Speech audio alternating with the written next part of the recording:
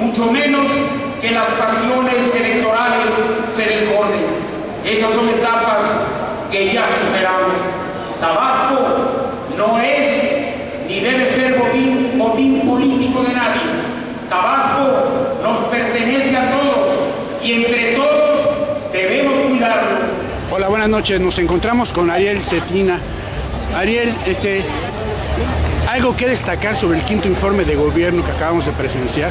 Yo creo que el gobernador Granier ha dado un informe humanista, realista, sincero con su población, agradeciendo y además con claridad la confianza que se ha tenido en él. Nos encontramos con el notario titular de la Notaría 17 de Tabasco, Gerardo López Conde. Eh, Gerardo, algo que destacar en, eh, en, el ámbito de tu competencia eh, en referente al informe que acabamos de presenciar, el quinto informe de gobierno.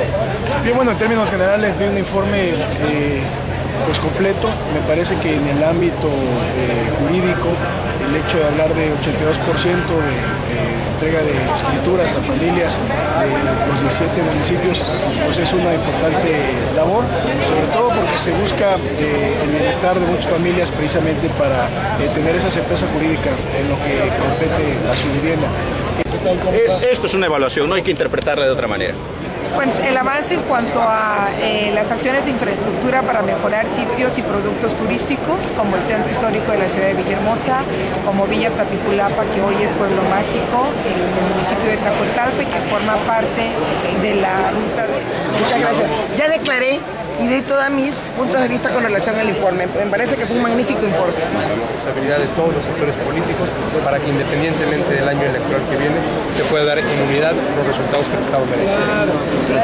Para nosotros el, el informe nos, eh, nos congratula, creemos que hay buenos avances, sobre todo en materia de infraestructura turística.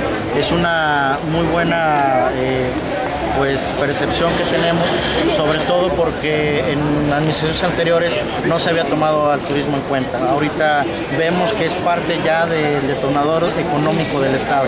Esto puede abonar a futuro a consolidarnos ya como un destino turístico de excelencia.